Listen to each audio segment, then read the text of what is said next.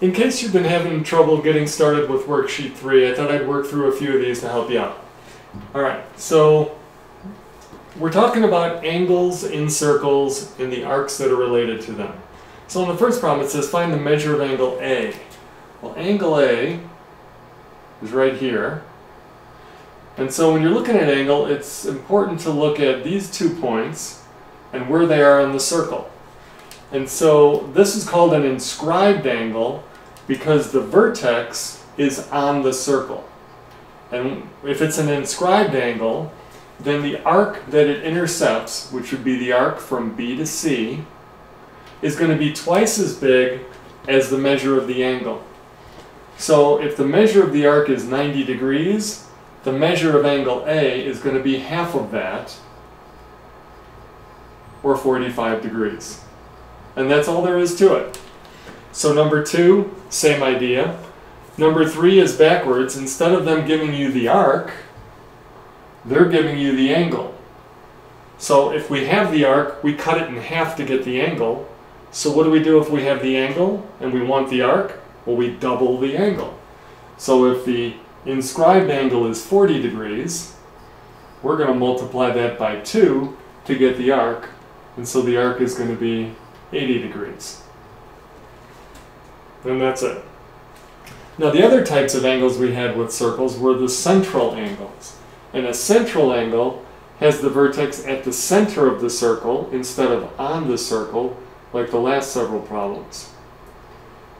So for this, the measure of a central angle is the same or equal to the measure of the arc. So if that arc was, let's say 30 degrees, the angle is 30 degrees. If the arc is 110 degrees, the angle is 110 degrees. So when they ask you to find the measure of angle BOC, let's move this arc out of the way.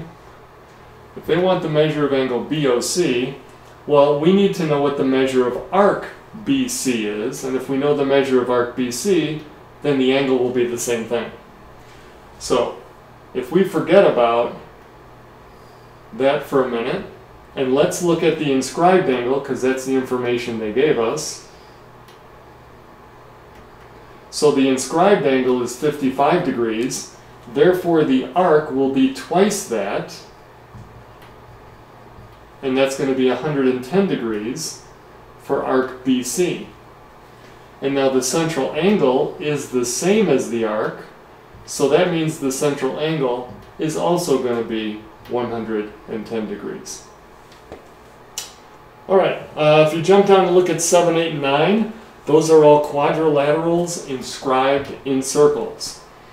And we learn from that that opposite angles, so for example in number 7, angle A and angle C are opposite angles. Opposite angles are supplementary. Let me write that. Opposite angles supplementary, which means they add up to 180 degrees. So if they tell me angle C is 65, I will subtract that from 180 degrees, and that'll give me angle A. So angle A is 115 degrees. Angle B and D are also opposite angles, so if I knew one of those, I could get the other one. For number 8, angle B is opposite angle D. You know what D is, so you can figure out B, etc. Alright, going down to number 10, nothing new here. They're giving you an inscribed angle. They want the measure of angle A.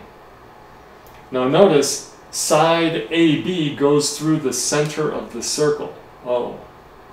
That means that AB is a diameter. And if AB is a diameter, then the arc from A through C to B is a semicircle, which is half of a circle so half of 360 is 180 degrees. So the measure from A through C to B of that arc is 180. Now they're giving us that A to C is 100, so that leaves C to B to equal 80. Now we can find angle A, because now it's like problem number one. If arc CB is 80, then the inscribed angle is half of that, which is 40 degrees. So they're just trying to be a little tricky here. They're So for number 11, for example, we need to know arc AC in order to get angle B. Angle B will be half of arc AC. Well, how do we get arc AC? Well, they did tell us that from B to C is 150, and if I kept going to A, I know that's half a circle, because AB is a diameter. So now I can figure out AC will be 1, 180 minus 150, and then it's just like number 10. Um, if you look down at 13, 14, and 15, notice now we have triangles, and in all of these cases, one of the sides of the triangle is the diameter of the circle. And that means, let me do it in a different color, that the arc, for example, in number 13, from A through B to C is 180 degrees. And that also means the arc the other way from A all the way around to C is 180 degrees. Now, look at angle B. Angle B in the triangle. It goes to point C and it goes to point A. Angle B is an inscribed angle in the circle. And it's half of that arc.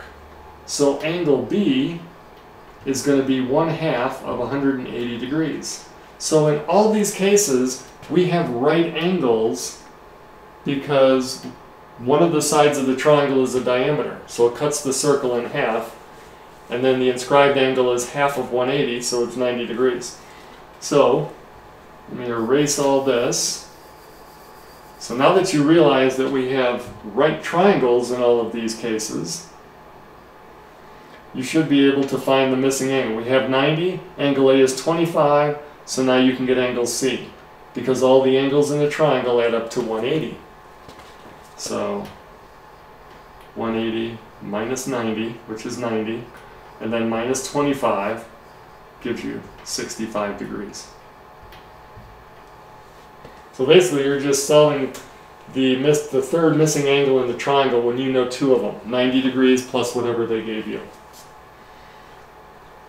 And so hopefully that helps you with the, the second half of the homework assignment. The first half is much more straightforward.